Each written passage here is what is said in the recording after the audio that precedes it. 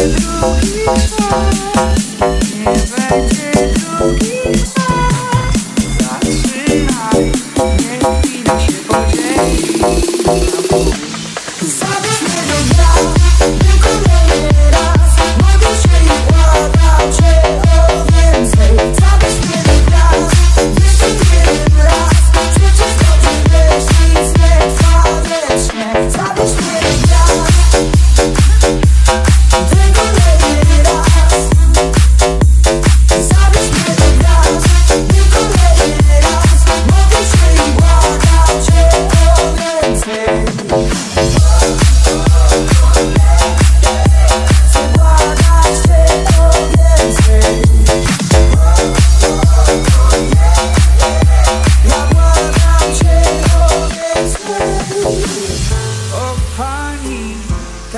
bardzo ci do twarzy w tej sukience